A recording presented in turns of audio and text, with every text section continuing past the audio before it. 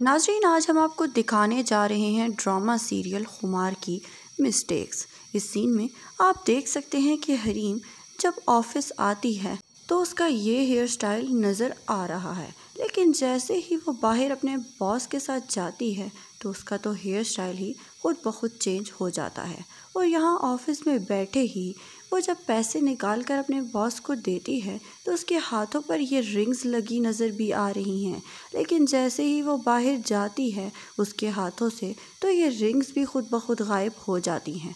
और यहाँ पर आप देख सकते हैं कि जब वो जाने लगती है तो उसके हाथ में ये वाला बैग नज़र आ रहा है, लेकिन जैसे ही वो फाइज को देख कर वहाँ से भागने लगती है तो उसके हाथ में तो ये ब्लैक कलर का पर्स खुद ब खुद आ जाता है। और यहाँ पर आप देख सकते हैं कि हरीम जब रोने के लिए हाथ ऊपर करती है तो उसके हाथों पर तो कोई भी नेल पेंट लगी नज़र आ ही नहीं रही।